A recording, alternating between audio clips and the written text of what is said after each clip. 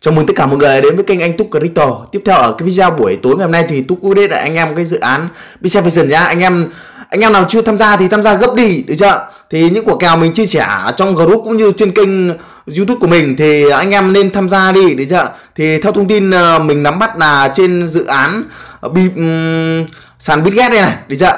Đấy thì uh, uh, nó tuyết liên tục, được chưa? Anh em có thể thấy họ 10 giây trước và uh, Ờ, à, 2 giờ trước này thì nó thông báo là liêm yết à, ờ, uh, ờ, gì nhá liêm yết uh, cái con Biception đấy được chưa?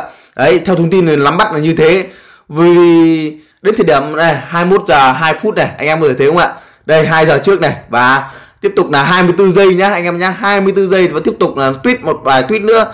Ấy thì anh em nhanh chóng tham gia nhanh cho mình đi vì uh, con này có khả năng lít full sàn này anh em ạ.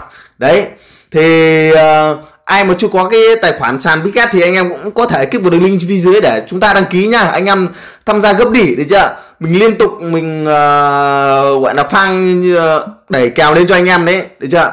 Đấy thì uh, tập cập anh em nhớ mà chưa tham gia ấy, thì tham gia gấp đi nha đừng bỏ qua kèo này được chưa? Một quả kèo quá là vĩ đại được chưa?